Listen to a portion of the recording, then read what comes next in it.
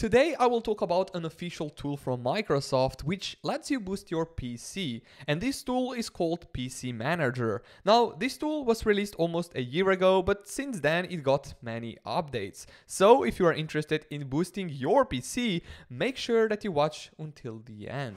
So what will you need to have to install this PC Manager from Microsoft? And apparently on this website it says Windows 10 with the version 1809 and above or Windows 11. So if you have that, then you can also proceed with the clicking on that download button. So after you successfully installed this application, you should see this screen and also this icon down below here in your system tray. So if I start right now from the top to the bottom. So if I click here on this gear icon and then we can click on the settings, you have three options here basically. So start PC manager automatically when I sign into Windows and also auto update PC manager Down below, we also have manually check for updates button. So if you want, you can also manually check for updates for this program. So without out of the way, let's go to the client itself. So here we have temporary files. So there is currently 910 megabytes of that. And also memory usage is 61%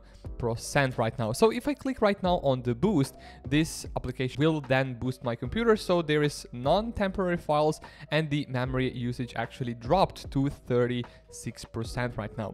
Here we also have health check. So if you want, you can also check for the health of your computer. So we have here items to clean up, for example, Windows cache, browser cache, temporary files, system logs, and we also can disable startup apps. So for example, if I check that, you will also see which apps will get disabled at startup as well. So if I click proceed, this will then take some actions and also health check actually completed right now and every single thing was cleared here and also startup apps were disabled.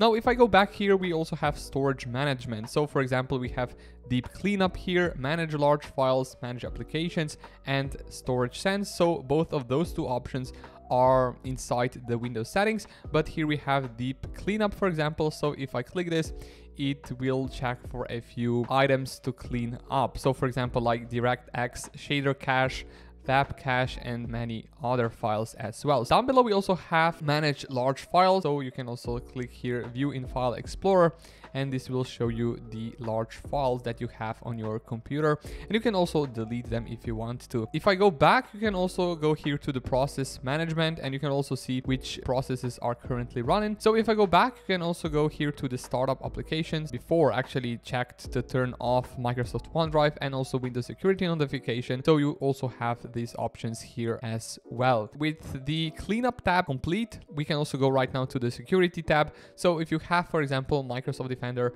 installed, you can also then check for the security threats on your computer. And this is basically it for this version of PC Manager. But right now, let's talk about another version of PC Manager, which is apparently in the version 3.0. This version right now, which I have installed is in public beta. And if I go here to the settings, you can also see the version 1.2.4 and everybody can basically download this version. So let me show you how you can actually get this version as well. And we can search for the PC Manager 3.0 click on the enter and if I scroll down you can also go to this um, website called Microsoft PC Manager 3.0 beta from neowin.net which I will also put a link in video description down for.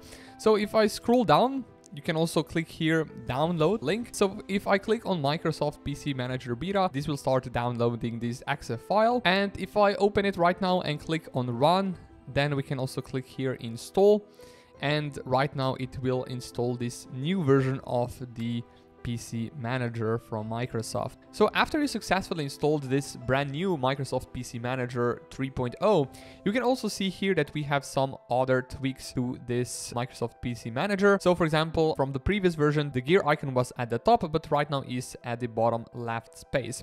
But keep in mind that I did not uninstall the previous installation of PC Manager, just the previous installation was then upgraded to this 3.2.1 version of this PC Manager. So yeah, it was just upgraded right now. So if I go through this app right now, we have a lot more options to pick from. So for example, we have here home. We can also boost your computer, but here we also have a brand new animation. Then we also have health check, process, deep cleanup, and the startup. If I go here to the settings right now, you have also smart boost option in the settings. So PC Manager will automatically boost your PC when high usage of RAM or there are one gigabytes of temporary files. So if I enable this, this uh, program will then um, automatically boost my PC.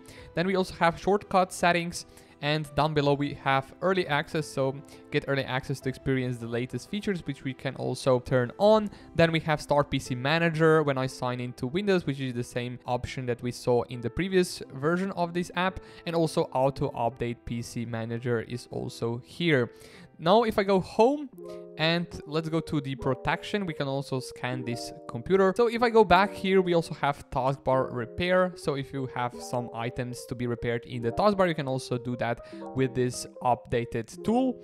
Then we also have restored default apps. So we have get office for office documents, web pages, we can use Edge and also PDF documents, we can also use Edge. If we go to the storage, we also have deep cleanup as we saw before in the previous version of this app and also manage large files. Then if I go to the apps, we have currently here process management. We have three processes currently running. So widgets, widget service and Microsoft Edge. We can also end them all here. So if I go here to the startup apps, so there is none currently on the startup. And uh, here we also have a brand new menu option, which is called Toolbox. So enable access to toolbar on desktop. So if I click here, enable, we have this brand new widget on our desktop. So here we have Windows tools, for example, screenshot is here. Then we have screenshot folder, recorder, captions, notepad, and also then we have web tools like Edge Quick Links, Bing Translator, Currency Converter, and so and so on.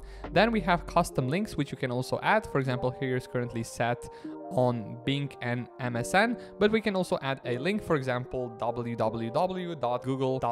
Then we can also add this to have Google in the custom links section. So then we can also, for example, click on the Edge quick links. We have here Google and then it will redirect you to the Google. If I click this on the same option here, we also have here Google, Office and Open Edge. So if you press Google, it will open Google in the Microsoft Edge. Then if I click here on the notepad, then it can open the notepad itself and also this screenshot tool, it will open the screenshot tool. So it's really cool that this widget actually lives on your desktop like so. Then if you go here to the settings, you can also here hide this toolbar or add even more tools. For example, we can add, let's say, captions and then let's add the Bing translator as well. So in this toolbar right now, you can also go here to the captions and enable captions on Windows and also for the Bing translator, it will open Bing translator in your default web browser or in Microsoft Edge. And here we also have this boost icon. So you can also boost your computer from this widget as well, which I also think it's quite handy to have on the reach of just one click, right? So yeah, this is basically this widget and this tool, Microsoft PC Manager. So let me know in the comment section if you actually downloaded this tool and tried it out and let me know what you think about it. So with that said, this is pretty much it for this video and how to boost your PC. All the required links are linked in video description down below, right below the like button. And also if you are new here, subscribe to this channel would really mean a lot to me. Thank you so much for watching. Once again, have an amazing rest of your day and I'll see you all in the next one. Peace.